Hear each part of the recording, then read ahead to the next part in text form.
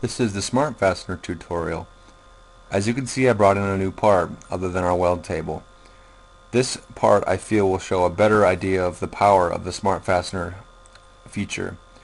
We have multiple holes that are multiple sizes and multiple types. But as we go up here to click the Smart Fastener we'll be able to quickly uh, fasten this together.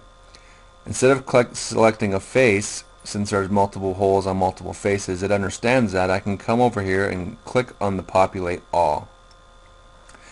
Now as I click on the populate all, what SOLIDWORKS is doing is it's going into its toolbox, it's finding some fasteners that will fit these particular sizes and these particular types of holes.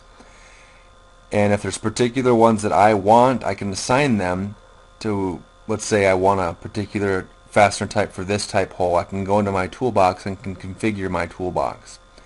And so what's nice is for every type, I can set my own fasteners to that type.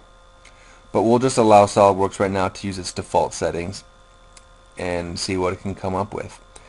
This is a lot quicker than me manually going into the toolbox, finding a fastener, and sticking it in every single hole.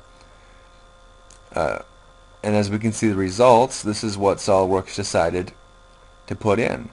For this particular hole and type it shows this fastener. For this hole and type it, it picked this fastener and so on and so forth.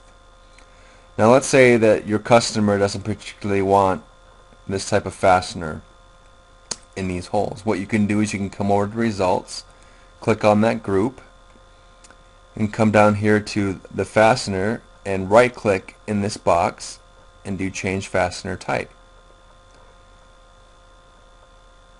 And the customer actually wants a binding head screw to be in that spot. So you click on that and hit OK.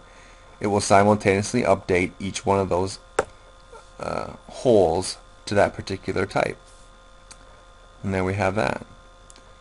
Now it's a lot easier also to put bolts on the end of these fasteners as well. We'll see that down below here as I rotate the part there are no nuts on these on these bolts. So what I can do is I can scroll down here and in the results section and find those particular bolts. And go to this bottom stack feature click add to bottom stack and let's put a hex nut on those bolts. What it will do is it'll bring those those nuts and put it on those bolts and automatically mate them and as you can see remember how long it took me just to mate just one and how long it would take you to mate all of them this feature goes a lot faster. And this is a, a very useful tool in any type of fasting that you want. And I, I hope that this will be of great benefit to you and thanks for watching the video